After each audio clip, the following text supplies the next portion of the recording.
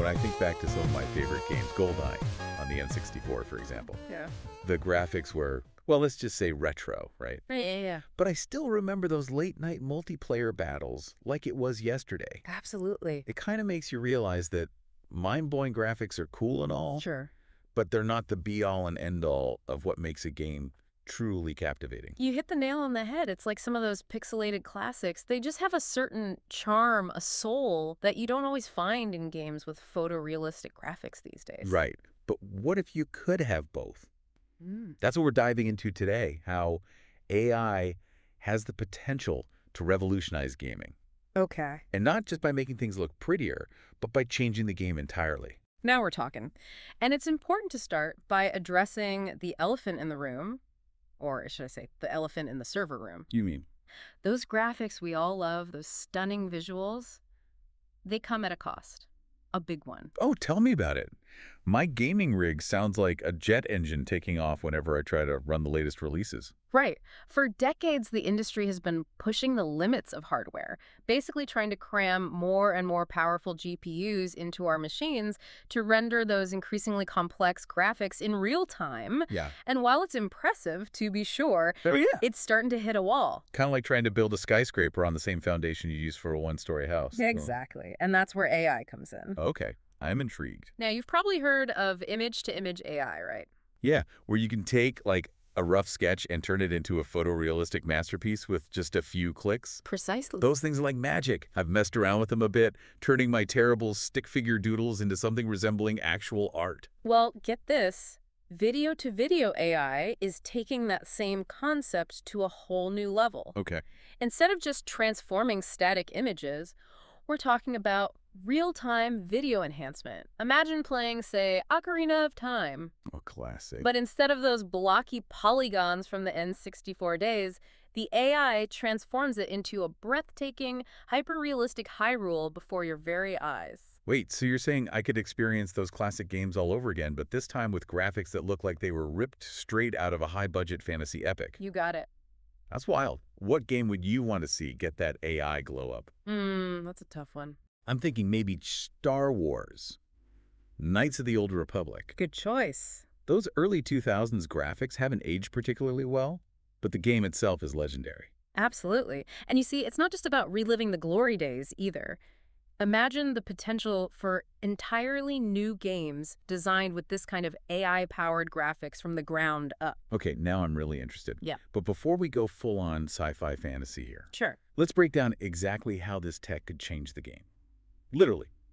So we've talked about AI giving those old-school games a serious facelift, but what about the games of the future? How would this tech impact how games are actually made? See, that's the really exciting part. It's not just about making things look prettier, it's about changing the entire game development process, really shaking things up. Okay, I'm all ears. Think about it. Right now, developers pour tons of time and resources into optimizing graphics for real-time rendering. It's a massive undertaking. But if AI takes over that heavy lifting, Yeah. well, that frees up the developers to focus on other aspects of the game. I see what you mean. It's like instead of spending years meticulously placing every leaf on every tree in a forest, they can just tell the AI, hey, made me a lush and immersive forest, and boom, instant ecosystem. Exactly. And with all that extra time and creative freedom, they can push the boundaries of gameplay, experiment with new storytelling techniques, you name it. So potentially more innovative games, quicker development cycles, maybe even lower system requirements down the line. Sounds like a win-win for everyone. It really does. And it's not just a pipe dream either. Hmm. Think about how revolutionary the jump to 3D graphics was. Oh, absolutely. Games went from those side-scrolling adventures to these expansive, living, breathing 3D worlds. It completely changed the types of experiences we could have as players. Right. Imagine trying to describe Grand Theft Auto V to someone who had only ever played Pac-Man. Hey, talk about a different universe. Exactly. And that just goes to show the power of what we call technological determinism, the idea that the tools we have at our disposal shape what we can create. And AI, AI could be even bigger than 3D graphics in terms of its impact on gaming. Wow, okay, so where does that leave us? Are we talking about like needing some crazy expensive AI supercomputer hooked up to our consoles to even run these games? Actually, it might be a lot simpler than you think. Picture this, okay? A little box, kind of like those old cable boxes everybody used to have. You mean the ones you'd hook up to the TV to get, like cable channels? Exactly.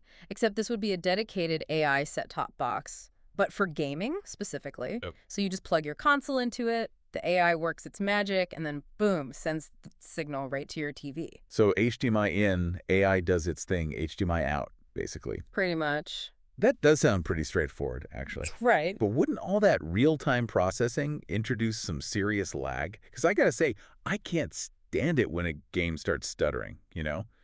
It's a total immersion breaker. And that's where edge computing comes in. Instead of relying on some far-off server farm, all the processing happens right there in the box itself. Huh. Which means... Which means faster processing, no input lag. You got it. No more ruining your gaming experience waiting for stuff to catch up. That's awesome. So it's like having your own mini supercomputer under the TV. Hmm, you could say that. And get this, the implications go way beyond just gaming, too. Oh, yeah. How so? Well, if this tech works for games, there's no reason it couldn't work for movies, TV shows, heck, even those old home videos gathering dust in the attic. You're blowing my mind here. Oh, hold on. So you're saying, like, remember how we were talking about AI taking those blocky old games and transforming them into HD? Yeah. This could be used to, like, take those old VHS tapes of my family vacations from the 90s and make Yeah. them look like a high-budget documentary. Exactly. It's about taking existing content and giving it a whole new lease on life. That's incredible. Okay, before we get too carried away with all the possibilities here, let's talk about the elephant in the room when it comes to AI. Oh, you mean Jobs. A lot of people, understandably, are concerned about AI taking over jobs in various industries. So what happens to game developers, graphic artists, all those folks, if AI is the one creating everything? It's a completely valid concern. I get it. Big changes can be scary.